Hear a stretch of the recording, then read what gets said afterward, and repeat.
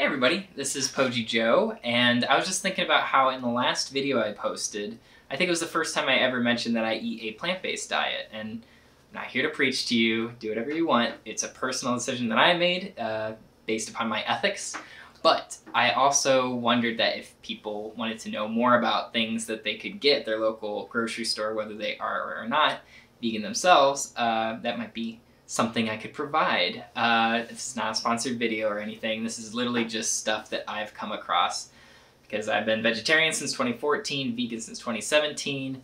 Uh, that's I think that's about it. Here we go.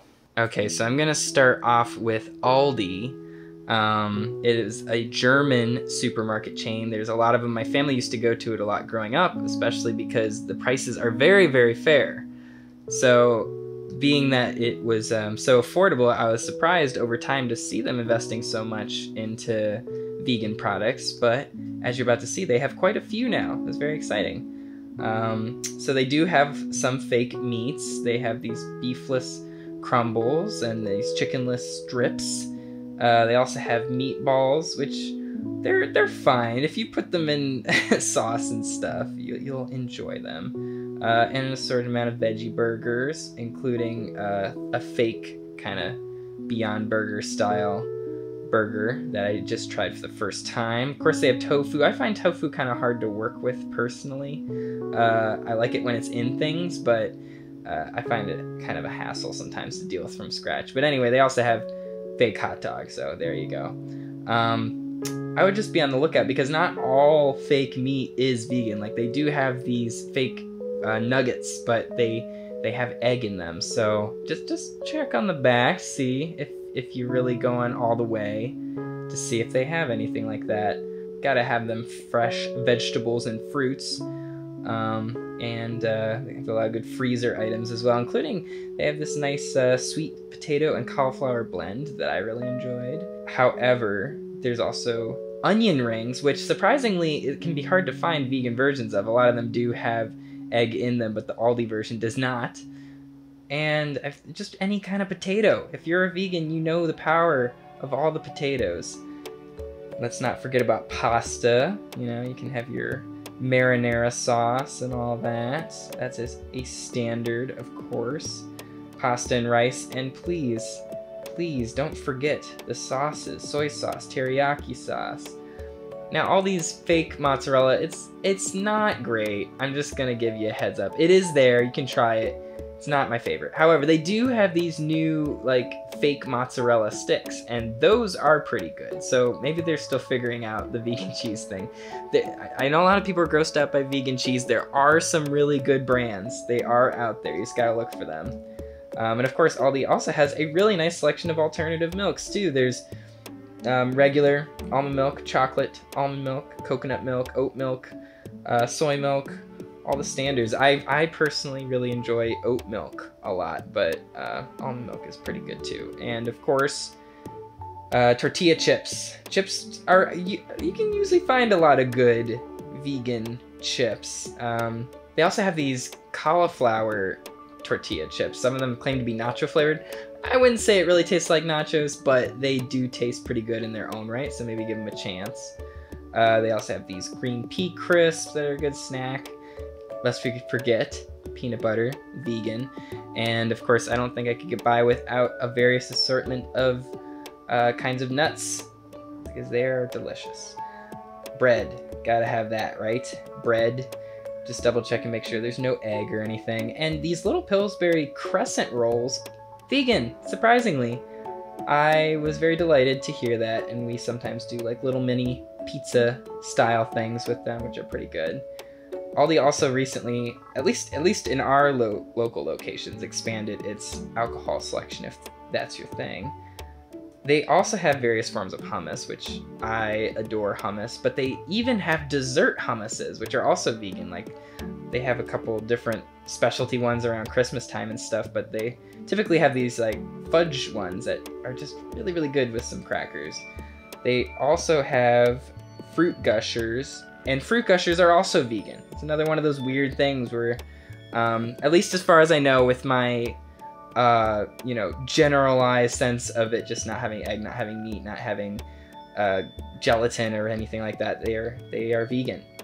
For a few more dessert items, these fruit bars, these frozen fruit bars are so good. They they don't t- like popsicles sometimes I do not like because it just tastes like a bunch of ice. These really do taste like actual fruit. It's delicious. And they also have these new little chocolate chip mini cookies and these little, I think they're called Brekkie Bites. I guess that's cute. Um, and there's Sam. Oh, hi Sam. How you doing? Now I know that Aldi only operates typically in the eastern half of the U.S., but we all have a Target. I think that's not the Target near us. Uh, that's just a stock clip. Now Target's obviously to be a little bit more expensive, but I'm just trying to show you places that if you look around, peek around inside, they, they might have some stuff that you don't even realize they have. Like Target now does stock the Impossible meats and the Beyond Burger meats, which is pretty cool. Uh, they actually have a really nice selection of various uh, fake meats. Again, check to make sure that they don't have egg in them or anything like that. But my absolute favorite is Gardein. Gardein makes some of the best fake meat products. Um, they haven't disappointed me yet. Okay, well, their one soup that I tried disappointed me. But oh, other than that, every other thing I've tried for them is so good and so delicious. They even have fake deli meats, which is really good for packing lunches for me and stuff like that, and fake hot dogs.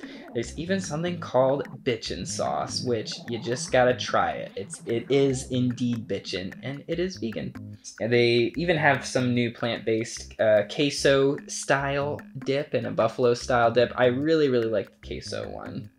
And they actually have a pretty big assortment of various plant-based yogurts now too, which is pretty cool. They do have one readily available vegan pizza as well. And Annie's has a lot of plant-based products. I do really enjoy their fake mac and cheese is really good.